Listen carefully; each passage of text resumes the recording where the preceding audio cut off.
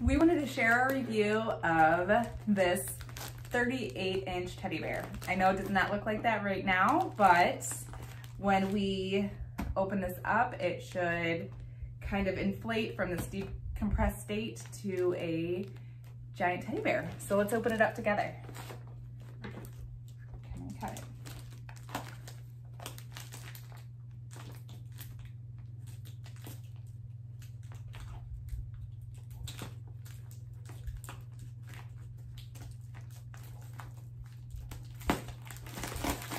Okay.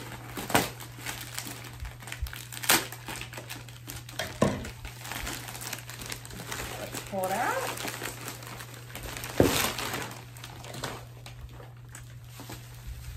Okay, you can see it's all tucked into this bag.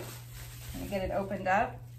And it's, um, there's directions included. So you'll wanna massage the teddy bear or knead it or um, actually just let it sit out or sit out in the sun and it should um, get bigger and fluffier.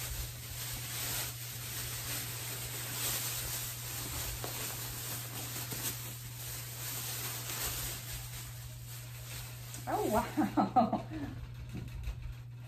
So as you can see, it already comes out um, very large. I can't believe it all fit in there just like that.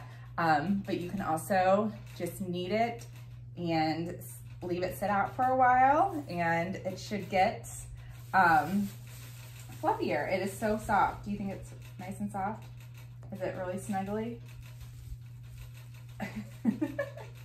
and the feet are so cute. They have little hearts right there. So we just brought our bear in from outside. So a few ways that you can um, fluff it up even more so is by kneading it, which we showed you, and then also patting it and just leaving it out or out in the sun. So we um, did all three and then left it outside for a couple hours in the sun and just brought it back in and he is so full and fluffy and soft. So we're really excited to cuddle with him, huh?